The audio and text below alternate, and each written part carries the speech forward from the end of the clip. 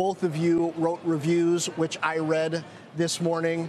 And it sounds to me like you're saying it's another step ahead in, in the race here. If you're got an Android phone that you generally like, you're probably not going to switch here. But you seem to like, Joanna, I'll go to you first. You guys seem to like the camera maybe a bit more even than you expected based on your initial takes at the event. Yeah, the, I mean, the camera uh, is definitely a big upgrade here, whether whatever phone you're actually coming from, whether it's from the last generation. I also did a lot of comparison testing for what I really think are the main, main people upgrading iPhone 6s, iPhone 7s. Giant leap ahead there.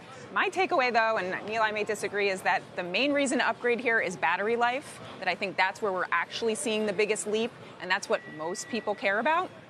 Okay, so do you think that this is any different from your typical year of an iPhone upgrade. Because, yeah, the processor's always faster, the camera's always a little bit better. I mean, the battery life, there's something. I think battery life is huge. I actually agree with Joanna there. I think this is, the story here is the power of sort of reduced expectations. like Apple came on stage and they didn't make any grandiose proclamations. They didn't say they were going to save the world. They didn't tell you that the digital crown was an input device on par with multi-touch, which is how they introduced the Apple Watch. Uh, they said the camera lasts a lot longer, the, uh, or the battery lasts a lot longer, the camera's better, the screen's brighter, this is going to work a little bit better, and all of those things are true. And I think just meeting those expectations, which Joanna has written about, are the things people care about, uh, is like these phones are great. And I think if you want to buy a phone and wait out sort of the rocky 5G transition, the rocky next generation of hardware transition, these phones are going to last you a long time and they're going to be great doing it. Is it going to be rocky? Because most of the people who cover the company for the street argue that it's going to be manna from heaven next year. When we get 5G. Yeah. When we get the, the 2020 iPhone yeah. from, from heaven. Yes. yes, when it lands right here. I mean, I think the 5G transition could be very rocky, just given the state of the carrier situation right now in the U.S. Um, but certainly Apple has some new tricks up their sleeve. They're now kind of moved to this tick, tick, tock refresh cycle, right? You get kind of three now, and then there's a big one. Um, I think that's definitely coming next year. As I wrote in my review, I think the toughest decision this year is if you bought that 10 a couple of years ago, right? Everyone rushed out to get that brand new 10, new Face ID, new design. Now you're sort of like, okay, I need another new phone. Two two years? Can I push it to three so I can get that 5G, so I can get that heaven sent iPhone 20 or whatever it's. Nah, throw your 10, throw your 10 in the trash. Okay, dump that's, it. That's, that's, dump my, that's 10. my answer. The 10 has a horrible camera. The one thing you can never buy, that you can never spend money on, is better pictures after the fact. If you have a kid, if you have a pet that you love, five years from now, right? That's why I'm talking. oh, if, if, right, you cannot go back and be like, okay, I'm gonna I'm gonna throw some cash at this photo and make it better. It will never happen for you. Okay, so better camera, better battery life. What didn't you like about the phones? Uh, they're, they're boring right? I mean, like I'm a tech reviewer. It's my job to be like excited about technology, and they're boring. They are. I mean, I think the iPhone 11 is basically the iPhone 10RS. The iPhone Pro. There's nothing pro about this phone.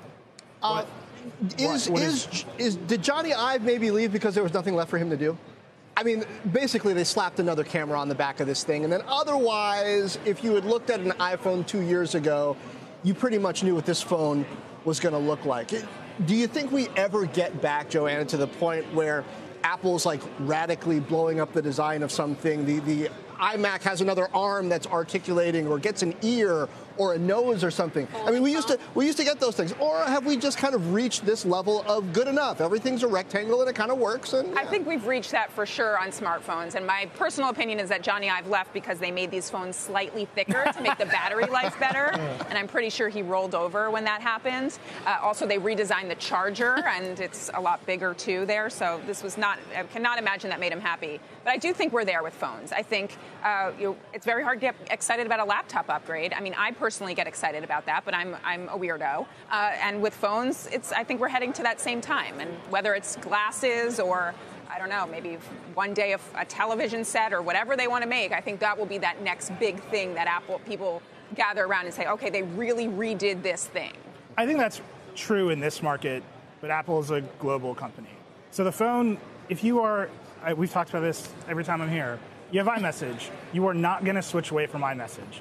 like I'm not. I'm not going to leave my friends behind because the Samsung Galaxy Note 10 has smaller bezels than the iPhone.